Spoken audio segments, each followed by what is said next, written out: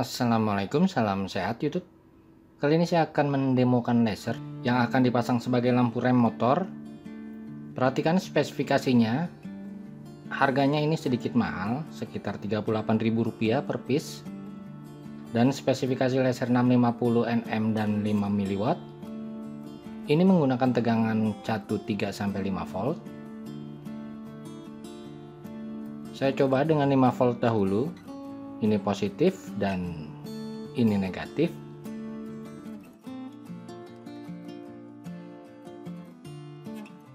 Sebetulnya ini hanya lampu laser biasa, hanya saja terdapat lensa yang dapat membuat garis. Jadi sedikit mahal. Dan panjangnya garis tergantung dari jarak laser dengan yang disorot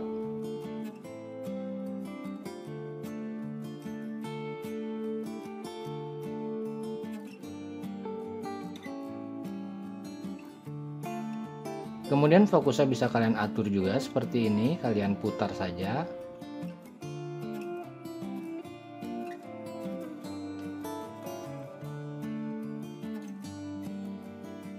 Oke kita coba buka saja tanpa lensa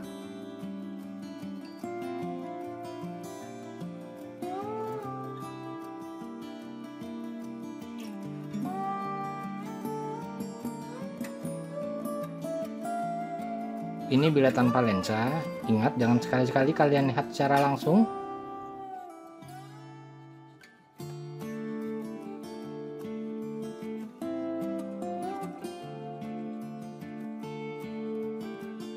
Coba kita misalkan mati dan merem. Kita lihat tanpa penerangan,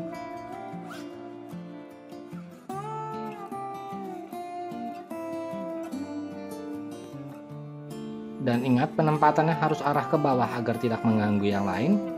Seperti ini. Oke bagaimana bila menggunakan tegangan 12 volt? Agar dapat dipasang pada tegangan 12 volt ada dua cara. Pertama yang paling mudah kalian hanya menggunakan regulator 7805 seperti ini. Ini pin 1 input pin 2 ground dan pin 3 output ke positif laser output Cara kedua, kalian tinggal pasang secara seri sebuah resistor.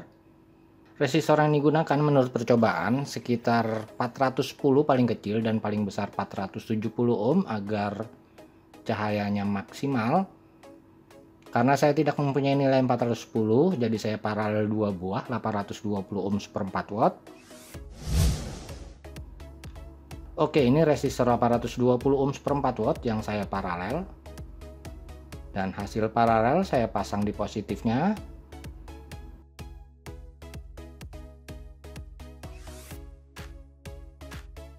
Saya tes dahulu dengan baterai 16850 ini juga langsung tanpa komponen tambahan. Positifnya tanpa resistor tentunya. Seperti ini hasilnya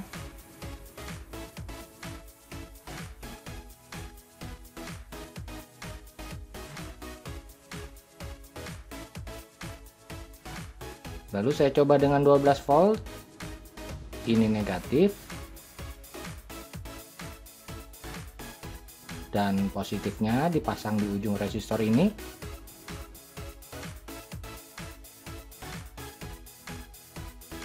Resistornya terasa panas tapi tidak masalah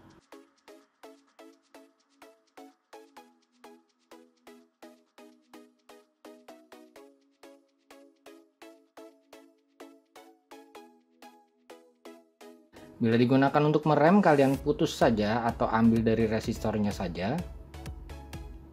Misal kita rem.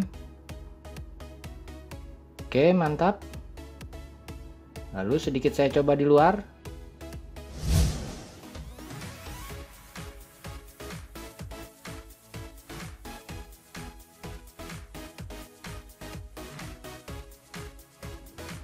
Sekian praktek saya kali ini. Terima kasih telah berkunjung. Wassalamualaikum warahmatullahi wabarakatuh.